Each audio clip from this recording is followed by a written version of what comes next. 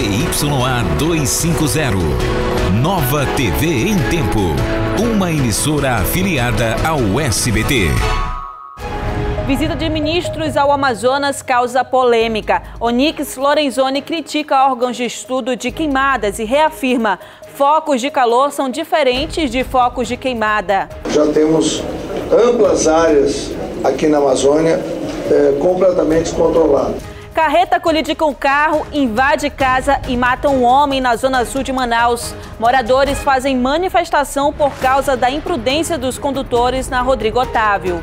Susto em decolagem. Em Canutama, avião quebra o trem de pouso na hora da decolagem e derrapa na pista. Execução: mulher é encontrada morta e homem ferido na área de condomínio de luxo na zona oeste de Manaus. Advogado é preso suspeito de planejar assalto a banco com quadrilha. E ainda, motoristas de ônibus alternativo param por falta de pagamento. Eu sou Gabriela Moreno e este é o Jornal em Tempo que começa agora.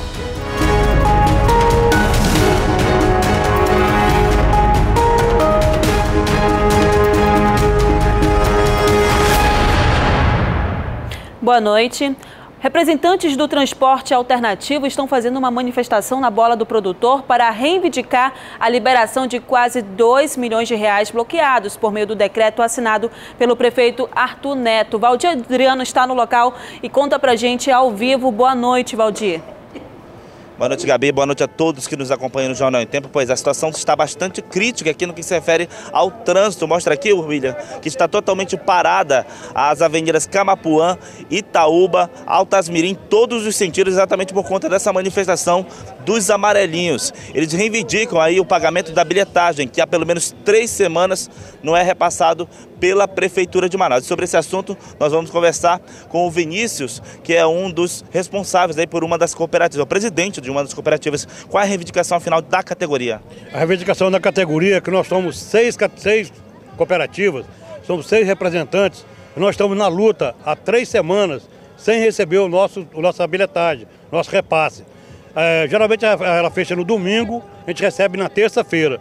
Houve uma intervenção por parte da, da prefeitura para poder pagar os funcionários das empresas de transporte convencional. E com essa intervenção, o nosso dinheiro ficou preso, junto com as outras empresas. Nós não temos nada a ver com esse problema da, do, do, dos funcionários de lá. E com isso, nós estamos há três semanas com 258 veículos sem receber e nós procuramos a prefeitura, não tivemos nenhum, nenhum êxito. Procuramos a Câmara de Vereadores hoje, também não tivemos nenhum êxito. Procuramos o assessor do prefeito, também não tivemos nenhum êxito. Enfim, nós estamos aqui 240, 258 pais de famílias, por isso que está esse caos. Nós estamos há três semanas sem receber. Não existe mais diesel para trabalhar, não tem condições. Enfim, é, é, tipo assim, acabou os ovos, a gente não pode comer a galinha. A nossa situação é muito complicada e nós só vamos sair daqui quando realmente houver uma, alguém da prefeitura para nos atender. Pois é, e o resultado disso, o reflexo é exatamente esse trânsito que você vê aí. E falando sobre trânsito, ontem teve inclusive um acidente de trânsito lá na zona sul de Manaus, mais precisamente no bairro Lagoa Verde. Nossa equipe de reportagem esteve lá no local e inclusive também acompanhou esse acidente que vitimou uma pessoa. E esse VT você vai ver agora aí no jornal. Avenida General Rodrigo Otávio, bairro Lagoa Verde, 6 horas da tarde. Começava naquele momento uma mega operação de resgate que só terminaria quatro horas depois. Esta carreta arrastou um carro de passeio para dentro deste centro comercial. No interior do veículo, uma família. Duas das quatro pessoas envolvidas no acidente ficaram presas às ferragens. As circunstâncias do acidente ainda não foram totalmente esclarecidas. Em uma das versões, o motorista do Palio teria efetuado uma manobra irregular, versão que é contestada por testemunhas, que disseram que a carreta já estava desgovernada quando passou pelo cruzamento. Para evitar que o container virasse e dificultasse ainda mais o trabalho dos bombeiros, esta outra carreta teve de ser colocada para sustentar as 19 toneladas da primeira. O primeiro a ser resgatado foi o motorista da carreta, o homem de 63 anos não teve o nome divulgado. Ele foi socorrido pelo SAMU e levado a uma unidade hospitalar da capital.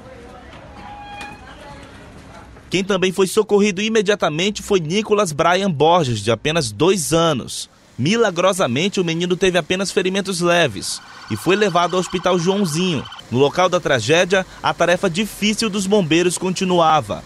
Porque o trabalho ele é muito cauteloso. Elas estavam muito presas, então nós estamos cortando é, é, pequenos pedaços de ferragem para que elas saiam com segurança. Fábio Borges, de 36 anos, pai do pequeno Nicolas Bryan, teve uma parada cardiorrespiratória, ainda encarcerado, e precisou ser reanimado. Quando finalmente o homem foi retirado das ferragens, uma nova parada cardíaca, agora dentro da ambulância. Os socorristas tentaram reanimá-lo por quase meia hora, mas a vítima não resistiu. O desespero tomou conta de todos que acompanhavam o dramático resgate. Mas ainda faltava a última vítima a ser retirada das ferragens. Brendo Adriano, de 19 anos, era quem conduzia o carro. Quando ele foi removido do veículo, o momento foi comemorado por todos. A perícia criminal esteve no local, mas limitou-se a colher dados, o que inclui imagens de câmeras de segurança. Um relatório completo do acidente deve ser divulgado nas próximas semanas. Foi um caso aí que levantou questões sobre acidentes por carretas lá na Rodrigo Otávio. A nossa equipe de reportagem foi até lá hoje pela manhã para verificar como é está a rua por lá e a gente descobriu que esse motorista não tinha é, habilitação. Brandon Adriano, de 19 anos, não tinha carteira nacional de habilitação. Segundo relatos, cruzou a Avenida Rodrigo Otávio de maneira imprudente e teve o carro atingido pela carreta que descia a via em direção ao distrito industrial. O condutor da Tupalho do veículo menor, ele não tinha habilitação, estava em processo de habilitação. E o condutor do, do, do caminhão, ele estava já com a carteira, tem medidas suspensivas na habilitação dele, que é de, de conduzir veículos sem capacete, né, conduzir motocicleta sem capacete, são medidas suspensivas. Ele também está com problema na habilitação dele. O acidente que resultou na morte de Fábio Borges, de 35 anos, não é um caso isolado. No mês de agosto, foram registrados três acidentes envolvendo carretas. Quem mora nas proximidades do distrito e da área portuária privada da Zona Sul convive com o fluxo diário de carretas e a reclamação é sempre a mesma. E eles descem em alta velocidade mesmo, como, como se fosse normal para eles. Muito comum ter acidente praticamente todos os dias. Apesar das fiscalizações, é comum encontrar caminhões e carretas trafegando em alta velocidade. Aqui na Avenida Rodrigo Otávio, esse fluxo é constante por ser perto da área portuária e do distrito industrial. A pista não tem redutores de velocidade, o que pode causar mais acidentes. O caminhão estava com reboque atrasado, o palio também estava atrasado, o licenciamento em atraso, né? E o reboque tinha os pneus em mau estado de conservação, que são os famosos pneus carecas. No choque, os veículos invadiram dois pontos comerciais. Em um deles estava o Adson e um filho de 10 anos. Com o impacto, eles foram arremessados e sofreram ferimentos leves. Estava eu e meu filho, né? Eu fico até um pouquinho mais tarde. Aí na hora nós estávamos bem ali naquele local, foi quando a gente sentiu o impacto nós fomos arremessados arremessado lá dentro, né? A estrutura da casa ficou comprometida. Vigas de ferro foram colocadas para segurar o segundo piso. Os prejuízos podem chegar a 35 mil reais. São 6 horas e 26 minutos. Agora a gente volta ao vivo lá para Rodrigo Otávio. A gente vai falar com a Débora Martins, que está com os moradores. Boa noite, Débora. Atenção. Boa noite, Gabi. Boa noite para você que acompanha a programação da TV em Tempo. Realmente nós estamos aqui nessa manifestação que segue desde as 17 horas aqui na Avenida Rodrigo Otávio, onde os manifestantes já atearam fogo em pneu para evitar a passagem das carretas aqui no local. Do meu lado está aqui uma das manifestantes. Boa noite. Boa noite. O, que, que, o que, que vocês buscam com essa manifestação? Bom, nós moradores estamos se reunindo aqui para manifestar que as autoridades vinham colocar um quebra-mola, um radar de velocidade, porque lá em frente da base aérea tem quebra-mola e aqui na ladeira não tem. E a gente precisamos, porque as carretas invadem casa, arrasta carro, mata criança, adulto, idosos, entendeu? Que tome uma providência, que tenha horário para essas carretas trafegar aqui na avenida.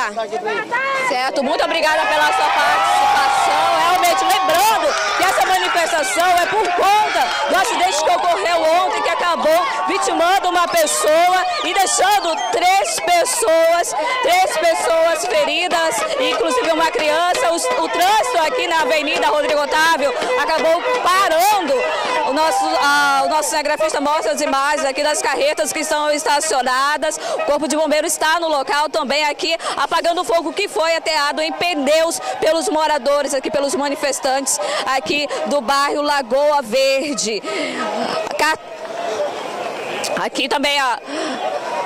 Você pode observar que as carretas estão todas estacionadas, algumas motos estão aguardando aqui o corpo de bombeiro é, apagar o fogo.